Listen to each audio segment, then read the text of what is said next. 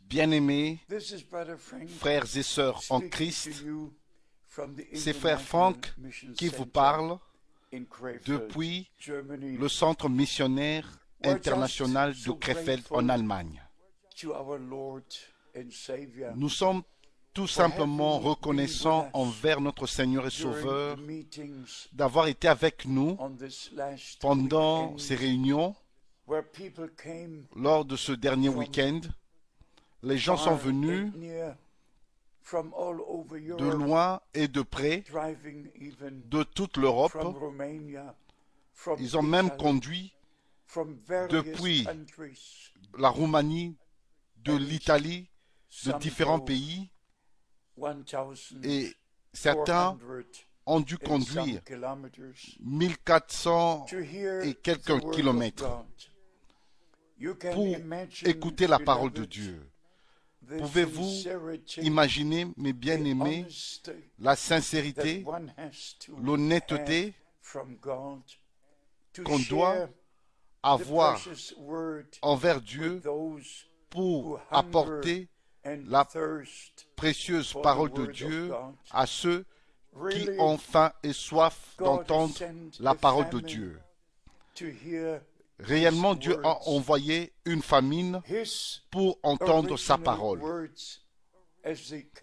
Sa parole originale telle qu'elle est sortie de sa bouche. we're Mes living bien-aimés, in is certainly le temps dans lequel nous vivons est certainement le temps le plus important dans l'histoire de l'Église. is Et. Le retour de notre Seigneur was imminent. et le message qui devait précéder en tant que le dernier appel avant le retour de l'époux est maintenant en train d'atteindre les extrémités de la terre. Nous sommes simplement tout- tout à fait over d'avoir la possibilité pour que les gens puissent se joindre à us nous partout dans le monde, d'être en ligne, et en contact, écouter les prédications les enseignements de la manière nous apportons la vraie parole de Dieu par le message du temps de l'heure. Mais bien aimé, notre 24 sujet principal était 25, Matthieu chapitre 24 showing et Matthieu chapitre all the 25, things which our Lord predicted en montrant que toutes les choses que notre Seigneur avait prédites s'accomplissent juste avant le retour de notre Seigneur.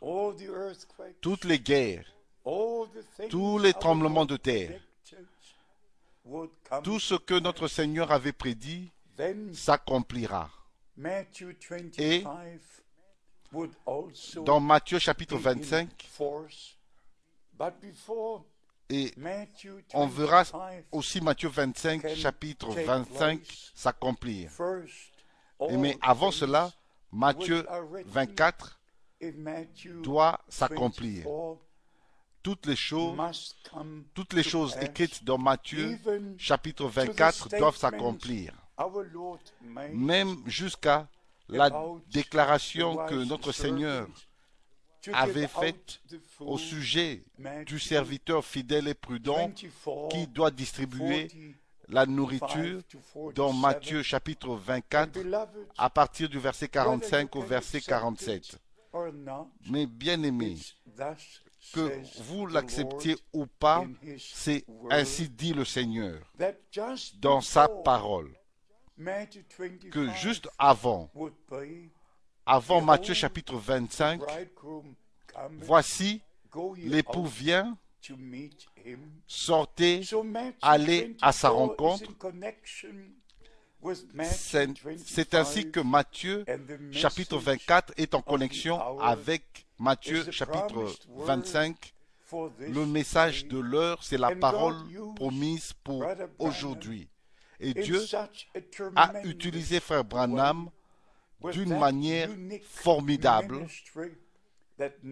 que ce ministère unique que nul autre n'avait jamais eu sur la terre.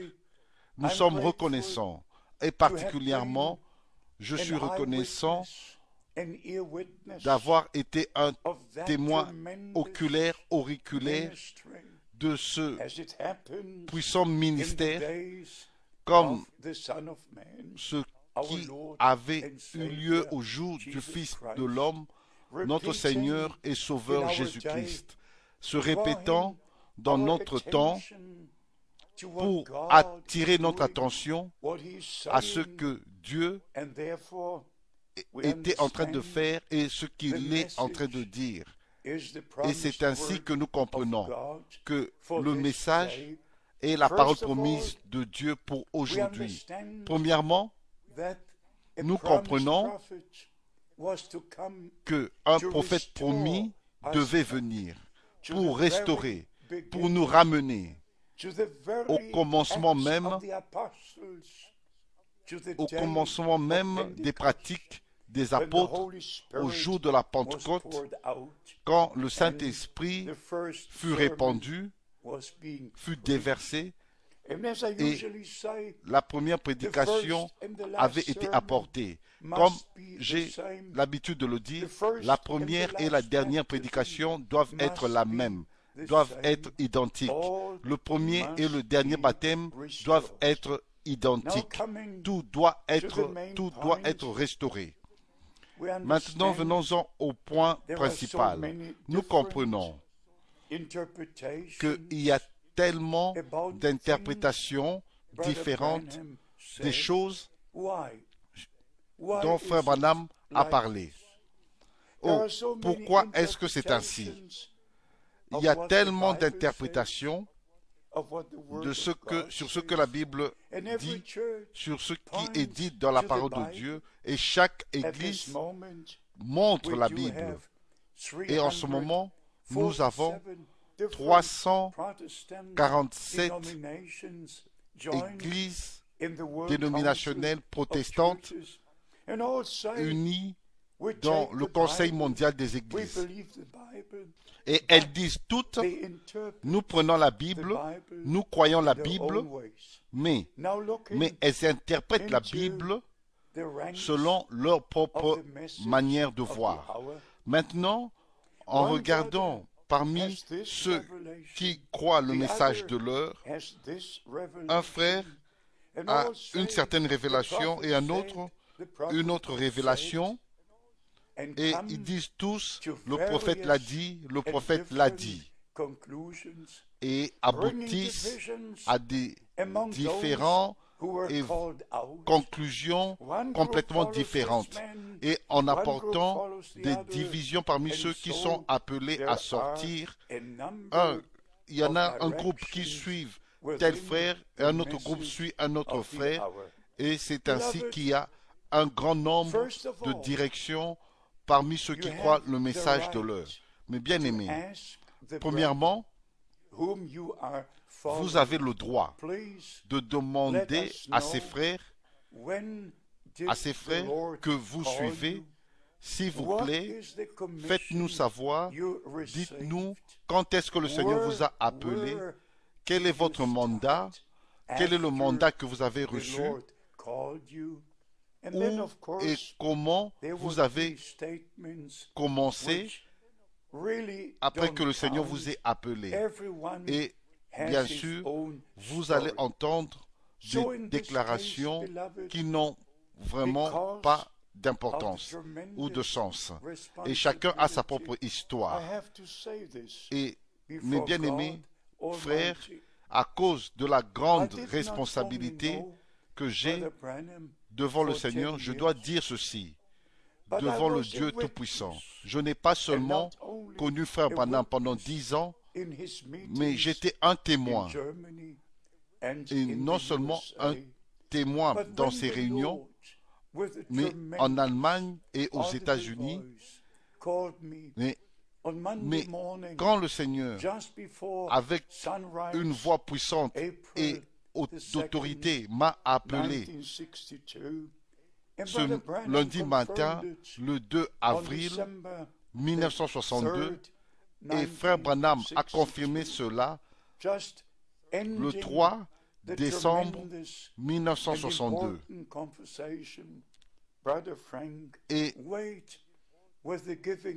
en mettant fin à cette conversation vraiment très importante en disant, frère the attends pour la distribution de la nourriture jusqu'à ce que tu reçoives le reste de la nourriture qui a été emmagasinée. Vous connaissez tous ce témoignage. Et mes amis, depuis que frère Branham fut repris auprès du Seigneur, j'ai apporté le message de l'heure 150 personnellement en visitant plus de true word of God, 150 pays en prêchant la vraie parole de Dieu. Le message et la parole sont la même chose. La parole, c'est le message et le message, c'est la parole. Et c'est ainsi, 24, mes bien-aimés, 45 vite to 47, retournons à Matthieu chapitre 24, au verset to me 45 directly jusqu'au verset 47, with the audible voice qui m'a été adressé directement 25, d'une voix audible de la part du Seigneur. Et dans Matthieu chapitre the 25, precious word quand le temps sera là, que la nourriture spirituelle, la parole précieuse de Dieu, qui fut révélée à frère Branham, sera prêchée. Ça sera en ce moment-là le dernier appel, le dernier message. Matthew 25, verse Et 1. c'est le temps, c'est le temps quand l'Écriture dit, alors, alors. Matthieu chapitre, chapitre 25, This is verset the 1. time. Alors le royaume des cieux sera semblable à dix vierges. Mes bien-aimés, beloved, ceci est le temps.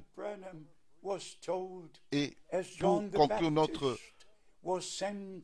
exhortation, comme il a are dit à frère Branham, de même que Jean-Baptiste fut envoyé pour précéder, préparer la première venue de Christ, tu es envoyé avec un message qui but the précédera message la seconde venue de Christ. Le Seigneur a repris son messager, mais le message est resté avec nous. Que le Dieu du ciel vous bénisse et peut-être vous pouvez vous connecter lors de la proche- du 2011 prochain premier week-end et qui Saturday, sera le the dernier de cette année, 31st, and Sunday, qui commence 1st of l'année prochaine, le samedi 31 our et le dimanche 1er international janvier. Et par la grâce de Dieu, nous aurons 800 notre prochaine réunion internationale. Cette fois-ci, il y avait plus de 800 personnes rassemblées avec nous et la parole de Dieu est précieuse. Je, ne m'efforce for pas, mais je crois que le temps est arrivé pour nous de vérifier et de comparer toutes choses par rapport à la parole de Dieu et retourner à Dieu, à sa parole, aimer Dieu, aimer la parole, aimer le messager, aimer le message et être unis et non suivre un homme, mais suivre Jésus-Christ sur tout le chemin be taken jusque to à son retour et nous serons pris avec lui. Seulement ceux qui font partie de l'épouse écoutent ce que l'époux a à leur dire. Que les bénédictions du Dieu Tout-Puissant soient avec vous dans le saint nom de. Jésus. Amen.